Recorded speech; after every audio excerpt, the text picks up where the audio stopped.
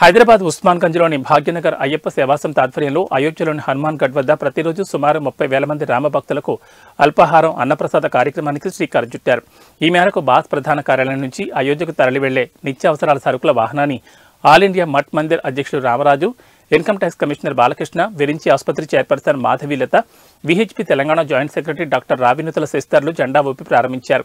ఈ సందర్భంగా మాట్లాడుతూ అయోధ్య రామమందిరం వద్ద భక్తులకు ప్రతిరోజు సుమారు ముప్పై వేల మందికి పైగా రామభక్తులకు అల్పాహారం అన్నప్రసాదం కార్యక్రమం చేయడం గొప్ప విషయమన్నారు. ఈ కార్యక్రమం ఈ నెల ఇరవై తేదీ నుంచి మార్చి రెండవ తేదీ వరకు అన్నప్రసాద వితరణ నిర్విరామంగా కొనసాగుతుందని బాస్ అధ్యక్షులు ఖ్యాతం రాధాకృష్ణ తెలిపారు. శ్రీరామ్ జై శ్రీరామ్ జై జై శ్రీరామ్ జై శ్రీరామ్ జై జై శ్రీరామ్ జై జై శ్రీరామ్ జై శ్రీరామ్ జై జై శ్రీరామ్! జై జై శ్రీరామ్! ప్లస్ మన బాలకృష్ణ గారి సపోర్ట్ మిగతా అందరూ అందరి సహకారంతో ఫస్ట్ ఆఫ్ ఆల్ నేషనల్ మీడియాలో భాగ్యరాయప్ప సేవ సంస్థ గతంలో దశాశ్వమేధ ఘాట్లో మనం పన్నెండు మధ్య వచ్చినాం కాశీలో మా పుష్కరాల్లో మనం అనుకున్న అన్నదానం కూడా చేయాలని ఆర్డర్ తీసుకొని వచ్చినాం. ఇప్పుడు ఈ యొక్క వాహనము ఇది ఫస్ట్ వాహనము ఇలాంటి మొత్తం మూడు వాహనాలు ఇక్కడ బయలుదేరుతున్నాయి.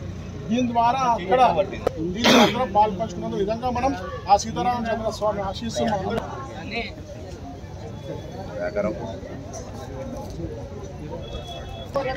सहस्रनामतत्तुल्यं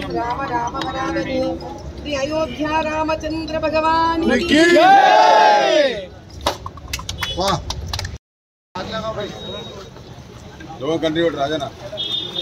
हाँ।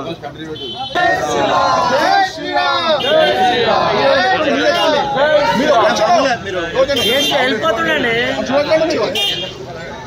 श्री राम जय श्री राम जय श्री राम जय श्री राम जय श्री राम जय श्री राम जय श्री राम वनन रूप जय श्री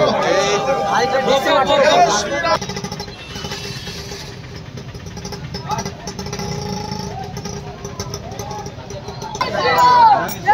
Tira!